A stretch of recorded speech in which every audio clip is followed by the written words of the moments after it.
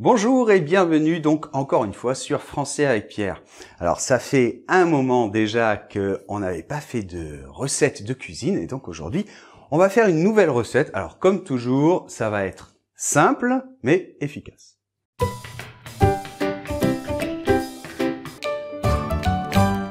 Alors qu'est-ce qu'on va faire aujourd'hui? Eh bien on va faire des croque-monsieur. Donc les croque-monsieur, c'est un, plat, si on peut appeler ça un plat, enfin c'est typique français. C'est un petit peu comme un sandwich euh, avec euh, du jambon et du fromage, mais vous allez voir avec une petite touche française qui fait toute la différence. Alors, au début, les ingrédients.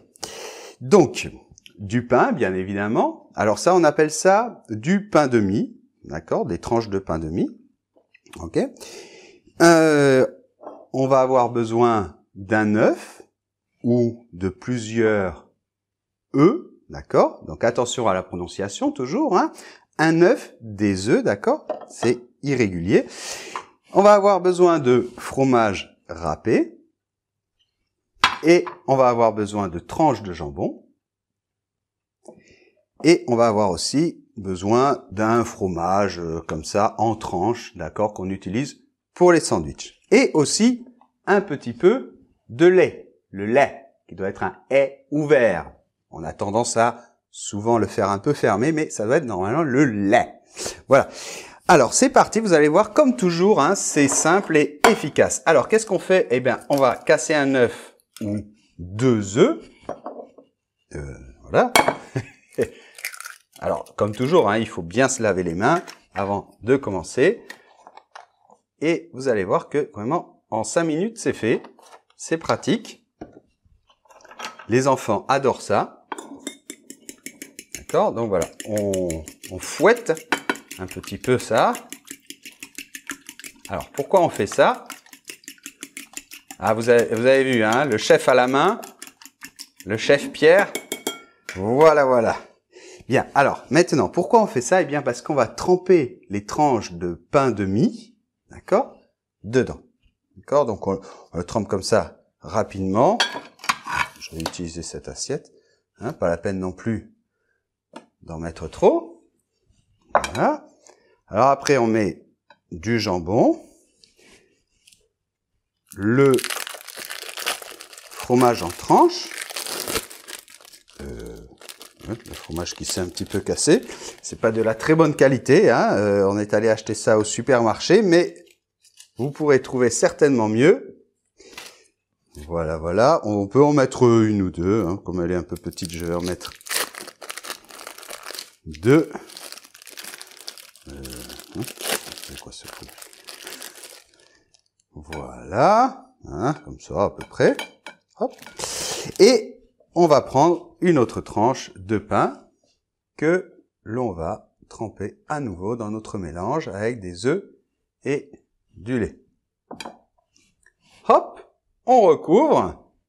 Et voilà. Et c'est le fait justement que ce soit trempé dans ce mélange qui fait toute la différence. Évidemment, du fromage râpé, hein. Alors, si vous faites un régime, eh bien, vous en mettez pas trop.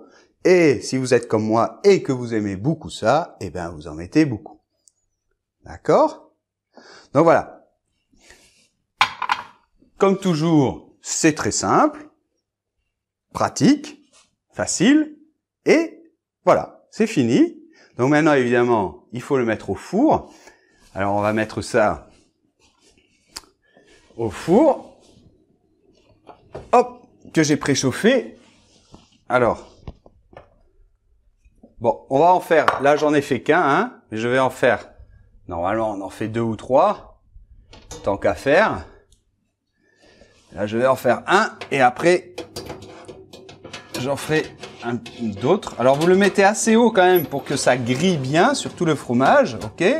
Donc là, j'ai préchauffé le four et on va laisser ça. Le thermostat, c'est-à-dire la température, bah, on peut mettre le, le maximum. Hein, euh, bon, là, c'est 250, 220, 250. Et on laisse à peu près 10 minutes. Donc, on se retrouve dans 10 minutes, 10 minutes, un quart d'heure, et vous allez voir le résultat. Bien, donc ça fait à peu près un quart d'heure. Hein. Comme je l'ai dit, ça dépend du four, donc il faut surveiller. Hein. Il faut être attentif et on va voir le résultat. Bien. Alors, attention, il ne faut pas se brûler. Ouais. C'est quoi ce truc? Ok. Ouh Regardez ça comme c'est beau.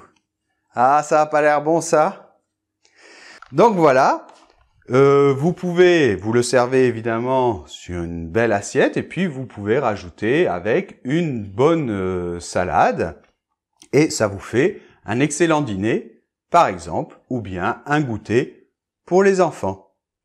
Alors, le mieux pour savoir si c'est bon, eh bien, c'est de faire goûter les enfants.